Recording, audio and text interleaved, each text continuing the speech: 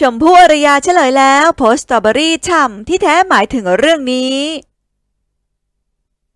เรียกได้ว่างานนี้ทำเอาแฟนๆ ฮือฮาหนักมาก หลังซุปตาตัวแม่อย่างชมพู่อารยา ออกมาโพสต์ข้อความผ่านอินสตาแกรมเป็นอีโมจิสตรอเบอรี่พร้อมแฮชแท็กฉ่ำเนอะทำเอาแฟนคลับและชาวเน็ตแห่คอมเมนต์กันเพียบ ว่าโพสต์นี้แม่จะสื่ออะไรหรือเปล่า หรือฟาดใครหรือไม่